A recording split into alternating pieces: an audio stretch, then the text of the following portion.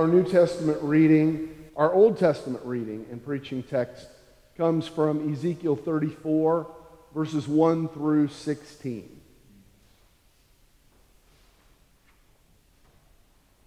Ezekiel 34, 1 through 16. The word of the Lord came to me Mortal, prophesy against the shepherds of Israel. Prophesy and say to them, To the shepherds, Thus says the Lord God Ah, you shepherds of Israel, who have been feeding yourselves. Should not shepherds feed the sheep? You eat the fat, you clothe yourselves with the wool, you slaughter the fatlings, but you do not feed the sheep. You have not strengthened the weak, you have not healed the sick, you have not bound up the injured, you have not brought back the strayed, you have not sought the lost.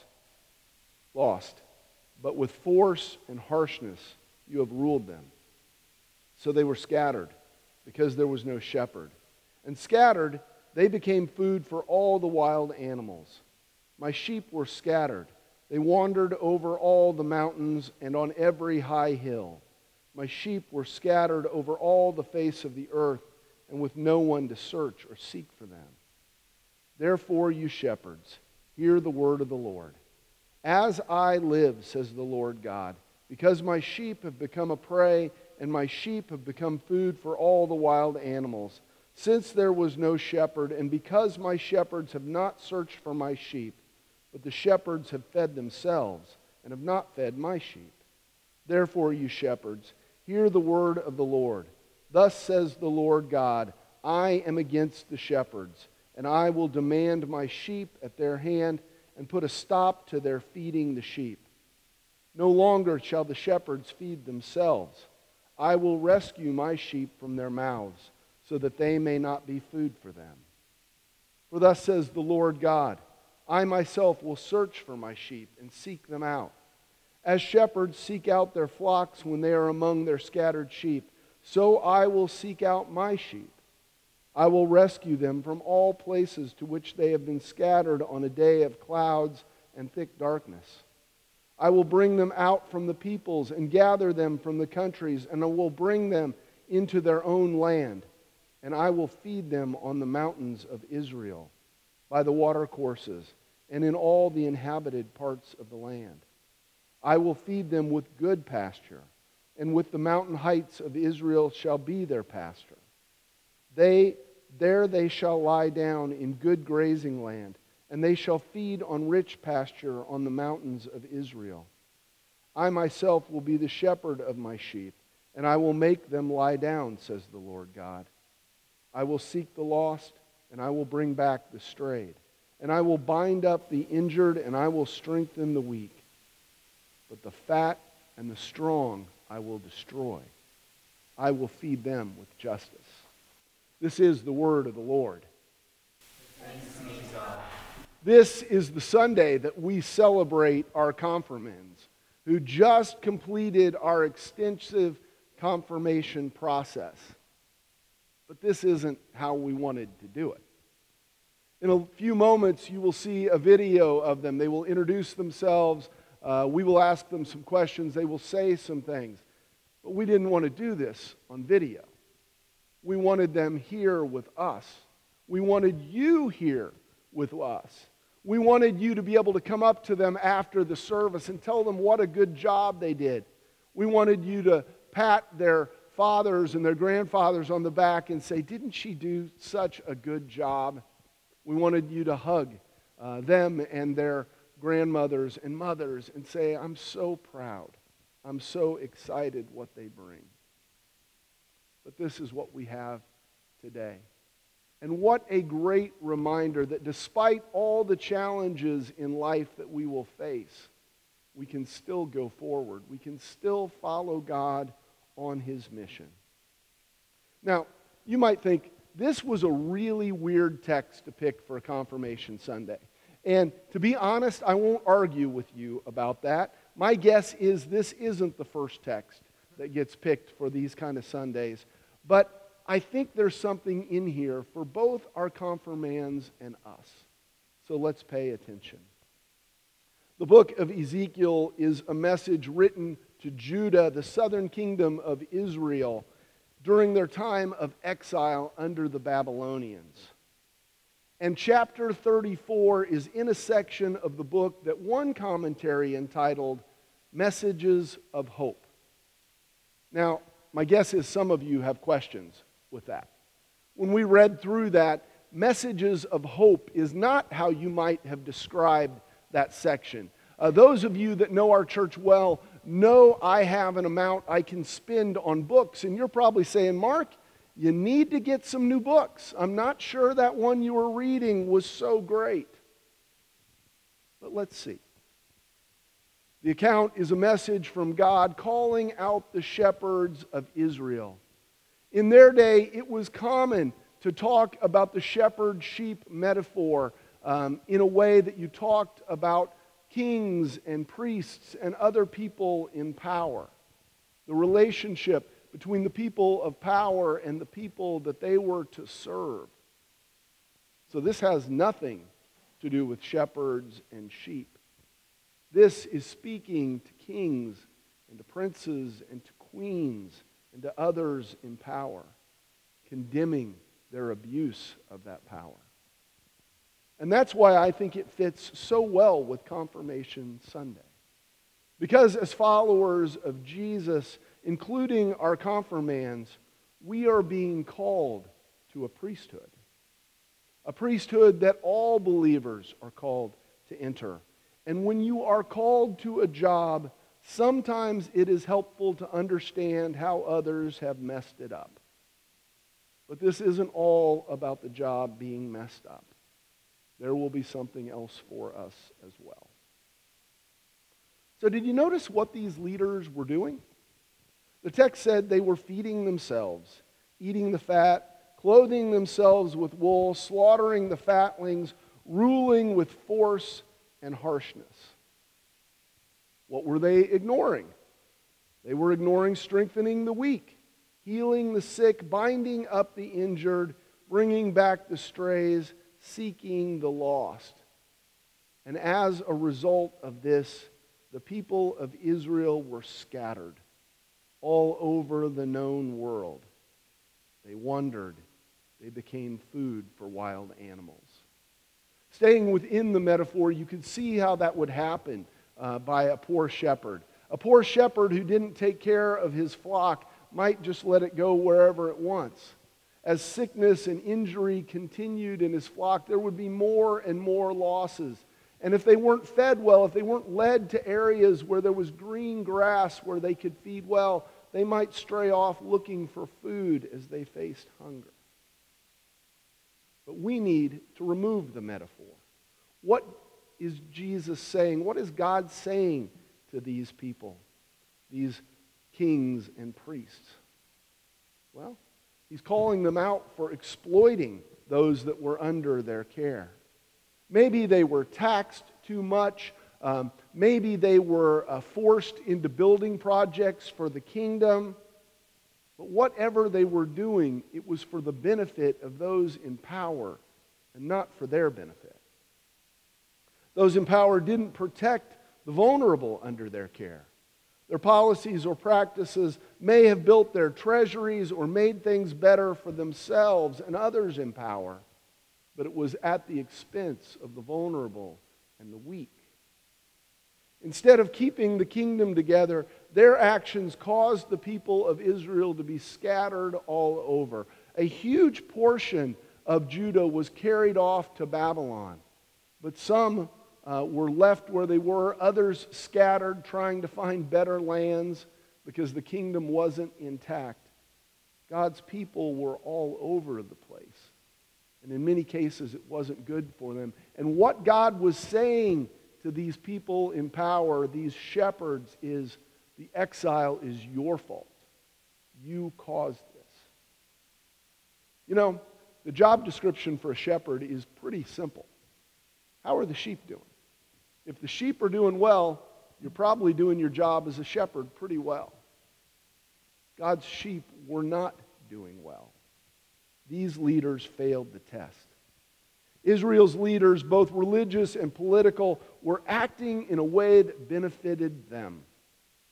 To the detriment of their people. So, how about today? What would this look like today?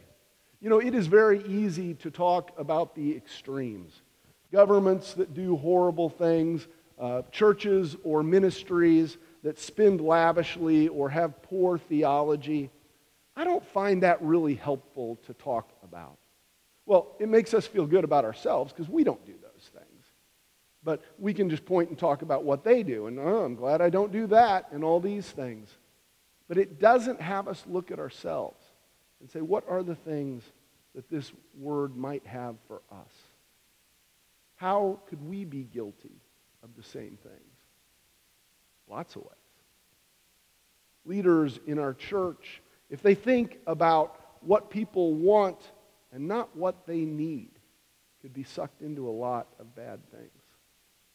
Maybe we become a church that when somebody quits coming, we never check on them. Because, you know, we got enough people here. It looks good. We're doing well. When teachers or preachers lead lessons that make them popular instead of delivering the unpopular message that the congregation needs. If we want to be in charge of things because we want certain events or certain meetings or programs to go the way that we want them to go, not because we're using our gifts and the gifts of these things to benefit the congregation and benefit outside the congregation. Lynn and I went to a church years ago where the previous pastor uh, spent most of his time with the important people in the congregation, the important people in the community. And even though we were there years after that situation had happened, there was still pain in this church. I also thought it was kind of interesting that most of the important people had left the church by this time because the new pastor wasn't treating them like they were special enough. God talks about these shepherds eating the flesh. And you can think about this literally within the metaphor of harvesting a sheep for our own benefit rather than taking care of a sheep and making it grow to where it's supposed to grow but it also happens outside of the metaphor in our churches and places of power. When a Sunday school teacher uses their influence in class to grow their business.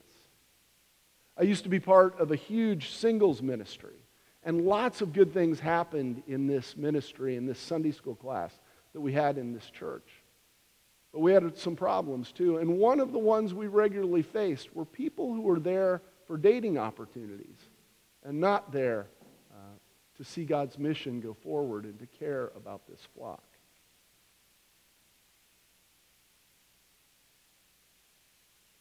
We are learning how to shepherd people by looking at a bad example. And sometimes bad examples are easier to learn, learn from than good.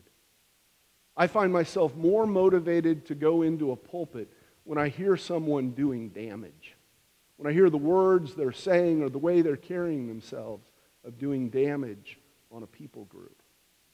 I'm sure you've seen those situations too. The remainder of the text contains a promise and a model for us that are called to be shepherds, and all of us are called in some way to be shepherds in our church. We get these therefores starting in verse 7 where this is the situation, but because of this situation, this is going to happen. And God says, I'm going to deal with the bad shepherds because my people have become food for others. And he talks of the sheep as prey. Sheep are not supposed to be prey. Sheep are supposed to be protected. They're supposed to be okay. They're not in that food chain. They're supposed to be protected. But God says, My sheep are prey. Because they really didn't have a shepherd. Because these shepherds fed themselves and did not feed the sheep. And God promised He would be against these shepherds. He would take the sheep back from them. And He said, You're going to stop feeding these sheep. Because what you're feeding them doesn't make them healthy it makes them vulnerable. What's it look like to be vulnerable because of what you eat. Well, if our church ever gets out of the habit of interpreting God's word for this community and gets into the habit of only delivering those messages that make you feel warm and fuzzy, we as a congregation will get weak and vulnerable. God said he will save his people from these shepherds. Religious leaders devour their sheep by not telling them what they need to hear and not doing the things that benefit the sheep, but by doing the things that benefit the leaders. And God said, I will take on the ownership of this flock.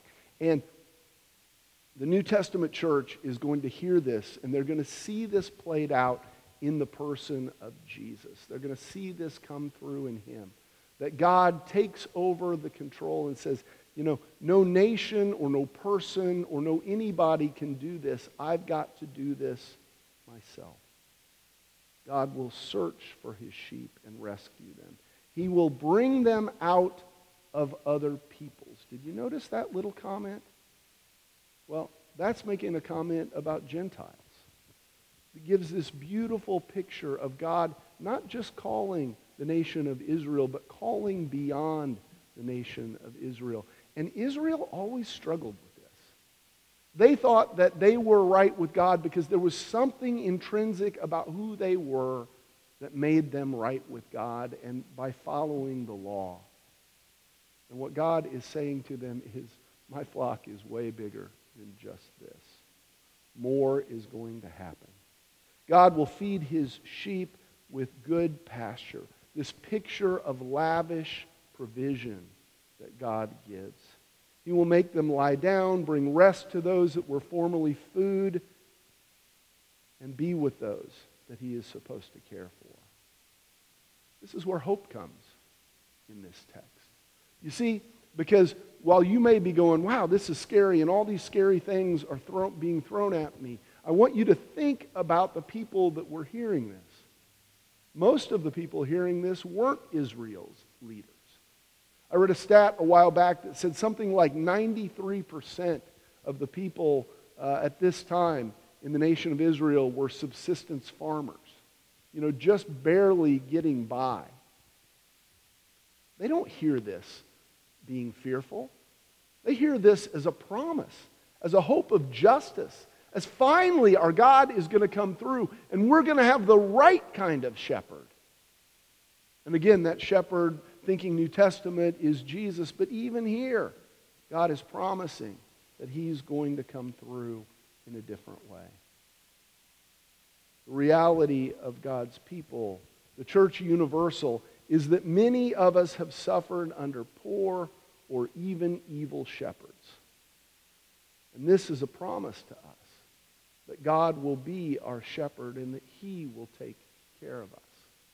But it's also a call to us and a call to you confirmands to set up the church in a way that cares about the flock in line with how God cares about the flock. If the last two weeks in America have taught us anything, it's that we still have a long way to go. Confirmands.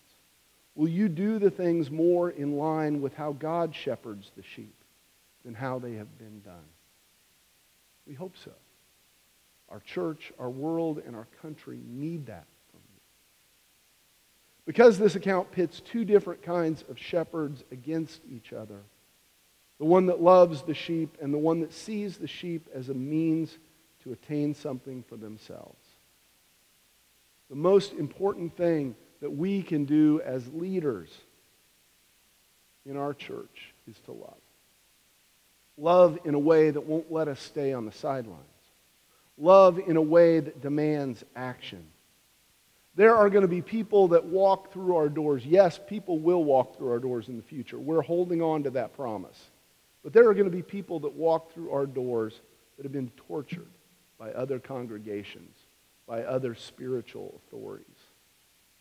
Will you love them? Will you nurture them back to a place where they can add, where they can contribute to the mission of our congregation? There are going to be people that disagree with the call that God has placed on our lives. And it, it hits me today as the confirmands that we are celebrating, all five being young women. What if you're called to the pastorate? Some people will have a problem with that. But will you love them enough that they'll consider it just because it comes from you? Will you learn from the generations before you? Will you repeat what they did right? Will you avoid what they did wrong? You see, I agree with the call that some are saying for pastors to be more prophetic. I think that is a good call. But the speech of a prophet is often lost if it doesn't come through with love. If somebody who doesn't like me tells me a hard thing, you know, it only means so much. But if somebody that loves me delivers a hard message, it gets through. And I care about it, I consider it. Even if my first reaction is, I don't want to hear that. If we know they love them, it matters. Will we love the flock the way God loves? God has taken over care of the flock because he loves them. And he calls us to serve alongside of him in caring for this flock. Confirmands, members of our church, regular participants in the life of our church. Will we follow that call? Will we care for the flock as well? God has taken over the care of this flock, but he invites us along on this journey to shepherd in line with the kingdom he is setting up. All of us need to take him up on this call to action. Let us pray. Creator, Savior, Advocate, you reveal yourself as one God in three persons, a mighty, creative, life generating essence who invites your creation to join you. Thank you for being a God that experiences the positive aspects of our world with us, but who is also present in the difficulty. These past days are examples of the complexities we face in life. We're so thankful for the confirmands you've called forward. We lift up Kaylee Bleeker, Honest Chipatula, Breezy Dowling, Josephine Henderson, and Lacey Perkle. They're a gift from you, a joy. Help our church to be good stewards of these young women's lives, guiding them to discern your light and responding to it. At the same time, we are deeply saddened by the death of George Floyd. Another reminder of how far we have to go as a country on the issue of race. Help his death be a catalyst that pushes each of us to examine our own racial bigotry and move toward a place that honors you more and more, Lord. Catch us up in your love and help us to mirror it to others, forever guiding our steps in this land full of celebration and pain. Our trust for these changes to happen is in you, our loving triune God. Amen. Join us at First Presbyterian Sundays at 8:30 and 10:55 or watch us on My 11 every Sunday morning at 9.